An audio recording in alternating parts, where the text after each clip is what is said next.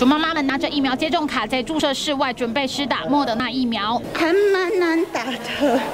对我打了大概三四家，能够坐在这里的妈妈几乎都是经过一番波折，还有人气到一度想要包车去外地施打。台北的朋友跟我讲说：“哎，你不来台北打呀？网络守在前面，就是一直不停的一直刷新 F，一直不停的按。然后我手机电话大概一个早上打了五十多通，哎，然后都打不进去。每一家专责院所分配到的莫德纳疫苗几乎都是一开放就秒杀。仁爱医院也只有八十剂而已，那我就觉得很夸张，因为你不是有保障孕妇的名额吗？可是。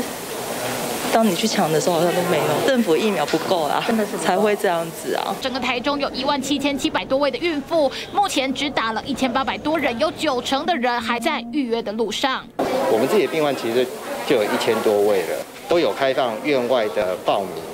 配送的剂量非常的少，相较于北高接受评估之后，孕妇就可以自由到大型的快打站施打，但台中只有八家的专责妇产科，其余都是一般的医疗院所，还得跟民众抢名额，也难怪挤爆。因为快打站没有这这方面这个产妇的这个特别的一个会诊啊，或者是这些。产检等等，所以我们在快打站是没有开放预约疫苗，就像打怪一样，要经过种种关卡才能成功。孕妇们被搞得精疲力竭，抱怨连连。在台中综合报道。